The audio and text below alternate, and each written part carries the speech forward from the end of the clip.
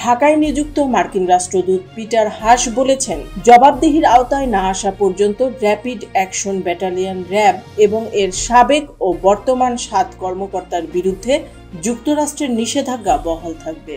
আজ বৃহস্পতিবার রাজধানীর গুলশানে একটি হোটেলে মিট দ্য অ্যাম্বাসেডর অনুষ্ঠানে মার্কিন রাষ্ট্রদূত পিটার হাস এসব কথা বলেন।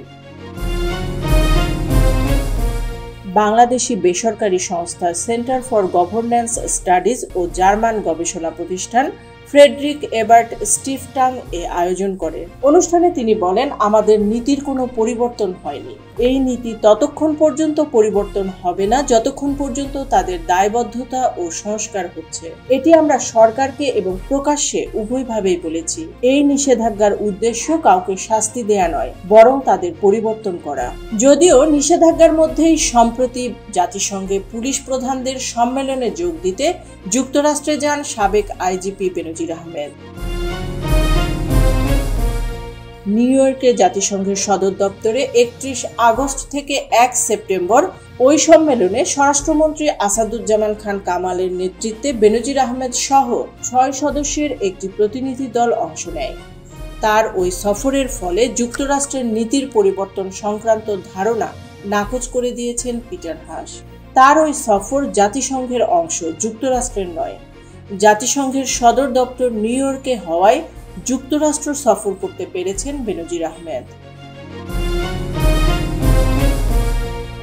গত বছরের দশ ডিসেম্বর গুরুতর মানবাধিকার লঙ্ঘনের অভিযোগে র্যাব এবং এর সাবেক ও বর্তমান সাত কর্মকর্তার উপর নিষেধাজ্ঞা দেয় যুক্তরাষ্ট্র। র্যাবের সাবেক ডিজি হিসেবে পুলিশের বিদায়ী আইজিপি বেনজির আহমেদও নিষেধাজ্ঞার মধ্যে পড়েন।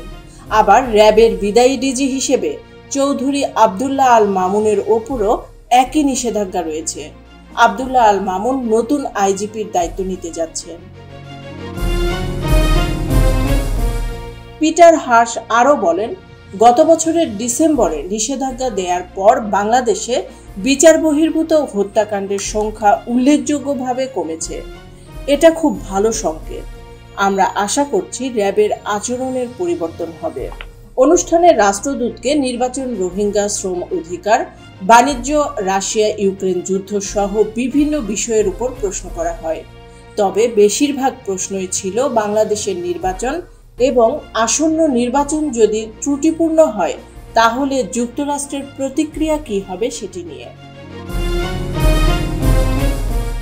নির্বাচন নিয়ে পিটার হাস বলেন, নির্বাচন শুধু একটি দিনের ঘটনা নয় বাংলাদেশে আসন্ন নির্বাচন স্বাধীন, নিরপেক্ষ ও স্বচ্ছভাবে হবে কিনা তা নির্ভর করছে বেশ কয়েকটি বিষয়ের উপর। কারণ, রাজনৈতিক দলগুলো স্বাধীনভাবে তাদের কর্মসূচি পালন করতে পারছে কিনা, গণমাধ্যম ও নাগরিক সমাজ তাদের মত প্রকাশের সুযোগ পাচ্ছে কিনা তার উপর নির্ভর করছে এটি।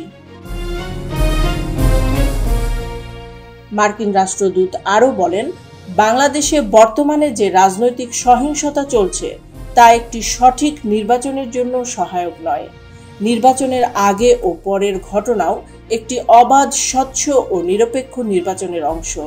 তাই বাংলাদেশের বর্তমান সহিংসতার ঘটনা যুক্তরাষ্ট্র সরকার ও বিশ্ব সম্প্রদায় নিবিড়ভাবে পর্যবেক্ষণ করছে।